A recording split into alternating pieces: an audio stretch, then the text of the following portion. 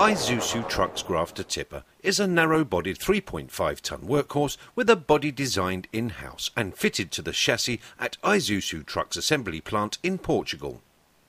The entire tipper body is constructed from corrosion-protected high-tensile steel with the underframe, frame, headboard, floor and rear vertical pillars finished in a hard-wearing black paint finish.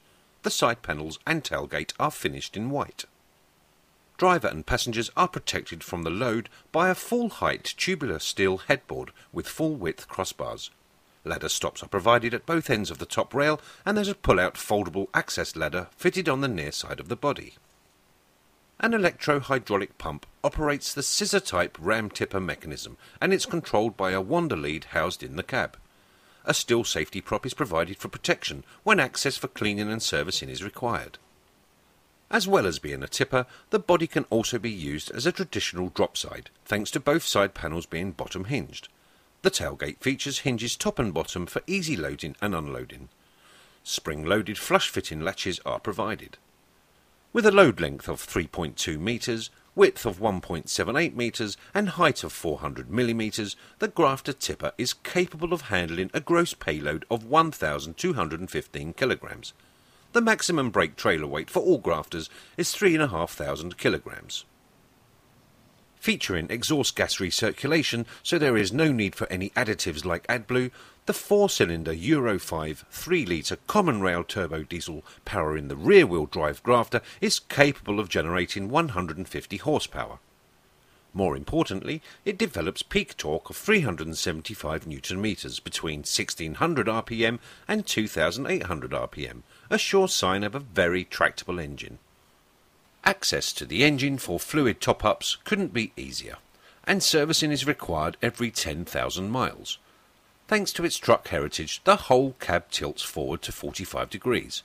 A release handle is provided at the rear near side of the cab. A five-speed manual gearbox is fitted as standard, and unusually it features a dog-leg first gear shift pattern. First is found in the bottom left position opposite reverse. Entry to the spacious cab requires a bit of a step up, thanks to the forward control design, but a non-slip step and grab handle are provided, and the doors open to 90 degrees to ease the process. Standard specification is not bad for this type of vehicle and includes remote central lock-in, electric windows and driver and passenger airbags.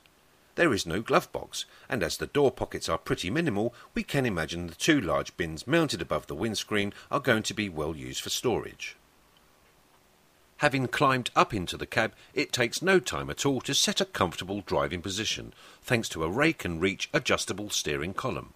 The angle of the steering wheel is much more truck-like than car-like, as it's inclined towards the horizontal rather than the vertical, but this doesn't cause any problems. The gear stick is well positioned, and we're glad to report that Grafter has a conventional handbrake lever sited next to the driver.